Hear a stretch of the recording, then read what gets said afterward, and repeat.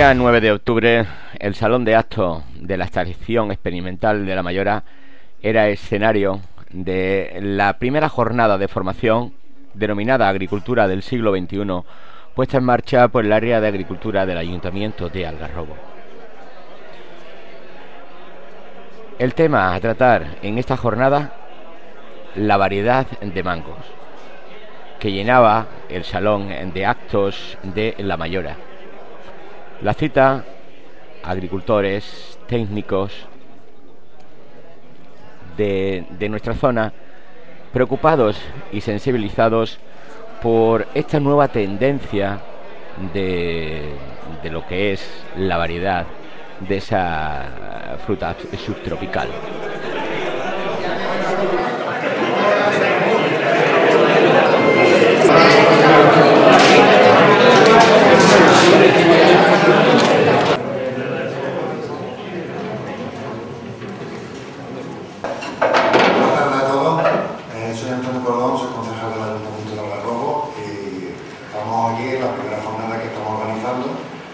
De un conjunto que hemos llamado Agricultura siglo XXI, que va a ser continuo en el tiempo.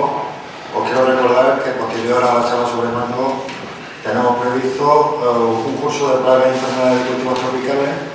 Eh, hay prevista una visita de la estación experimental La Mayora a las parcelas. Otra charla sobre estrategias para mejorar el uso de agua invernadero. Otra sobre el control de ácaro cristalino de aguacate. Un curso de reconversión de cultivos tradicionales ecológicos y por último un control integrado de plagas hortícolas. Eh, las jornadas pretendemos que sean muy vivas, que sean fruto de, de contacto entre los investigadores de la Mayora, eh, los técnicos del sector, que hay aquí una representación bastante interesante, y sobre todo el agricultor. Eh, está previsto que, sean, que tengan periodicidad anual y que en función de, de los intereses que tiene el sector en cada momento, de los problemas que, que tengan y de, y de las necesidades que, que demande el agricultor. Yo no me quiero enrollar demasiado, quiero presentar por, por un lado a Emilio Virado. Emilio Virado está vinculado a la Mayora desde el año 87. Es un técnico técnico de investigación en laboratorio del Departamento de Fruticultura Subtropical. Él está, estaba ya trabajando en variedades sobre mango en el año 92, cuando el mango era un cultivo inicial.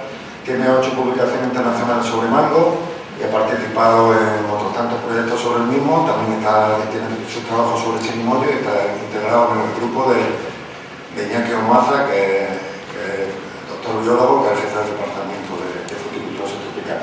Y Enrique Moriones, que desde el mes de agosto es el director de la Mayora, a la que quiero agradecer la colaboración que ha prestado en la organización de toda la jornada y en el planteamiento de, del trabajo. Quiero agradecer también aquí la presencia de algunos patrocinadores como son director de Caja Rural de Algarrobo y la directora de, la Caja Rural de, de Caleta Mezquitilla y de empresas patrocinadoras como Piche, que, que lo veo por aquí también. Y paso ya directamente a, a Enrique.